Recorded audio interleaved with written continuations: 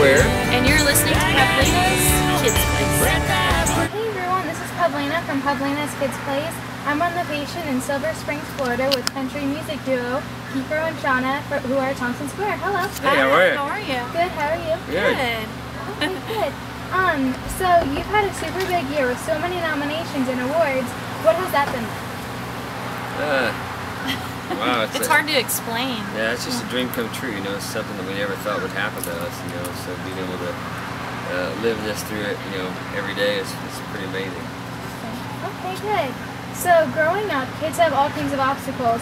What obstacles did each of you have and how did you deal with them when you were a kid? I got in trouble a lot. I did a lot of bad things when I was a kid. Uh, I think I just grew up. I had good parents, you know, and uh, I was raised a certain way. So I think that kind of took over at some point when I got a little bit older, you know, and I straightened up a lot. Shawna helped me a little bit. I think that maybe me growing up, um, I came from a really small town and a really small school. So opportunities there were, you know, not, not so great. And um, moving to Nashville was something that I felt like was my opportunity to uh, try to do something. And I moved right out of high school and Here we are. met him and here we are. Yeah. Okay, good. So, um, like you've had all kinds of jobs before getting famous. Is there one job that you were really glad that you like that sort of helped you write a song and prepare you for where you are now? Uh, no. No, no job, no job can prepare, can, uh, prepare you for this.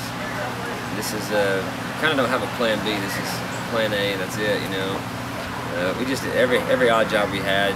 The only way it helped us get here is just by putting food on the table. You know, and I think selling boots in the Western store made us want to write better songs so we could Get out there. go farther in a music career. But Okay. So, um, what inspires you when you write songs?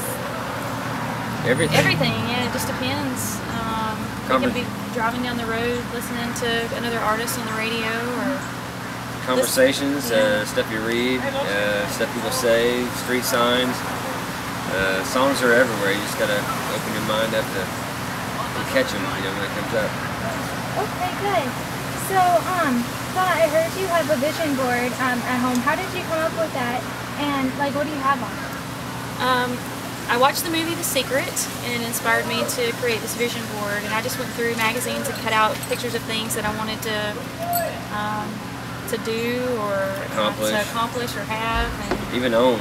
yeah, and so like I've got a home on there and clothes and hair and um, it's kind of like a Pinterest, Yeah. you know, but Oh, yeah, it's I actually a vision board, you know, that you hang on your wall. So um, there's the Grammy on there, and we're going to the Grammys tomorrow. So yeah. Awesome. It works. So, um, who has been like the best person or performer to give you the best advice in what they say? Oh, wow. I haven't got a whole lot of advice from anybody. Um, what do you think? I don't know. I haven't, we haven't really From other talked. artists, we haven't. haven't really talked to anybody about that. You know. Uh, the main thing, I guess, that we've heard from a few people is just to be sure and soak up and what you're doing. Cause you can get so busy with, with you know travel and everything else. You just kind of everything's kind of a blur. So uh, I journal to, to keep a track of stuff. I take a lot of pictures. But uh, yeah, just to, just to kind of live in the moment, I guess more than anything, and just realize what how fortunate you are. Uh, we've heard that from a few people, so that's probably the best one I've got. Oh, that's good. So, what are your upcoming plans and events? Well, we have the Grammys um, tomorrow, um, but tonight we're doing a pre-Grammy party, so that's going to be pretty fun. It's going to be with Tony Bennett and Jason Mraz, Oh, cool. And um, we're writing for a new record uh, Very for the cool. spring. Go in the studio in April and uh, record it, and uh, we've got a new video coming out uh, on Valentine's Day called Glass for our new single. And uh, there's tons of shows. We're on Lady Antebellum tour right now, and uh, trying to do a couple other tours for the rest of the year. So lots of fun stuff. Awesome. Thank you so much for talking to me. You're welcome. you. Nice to meet you.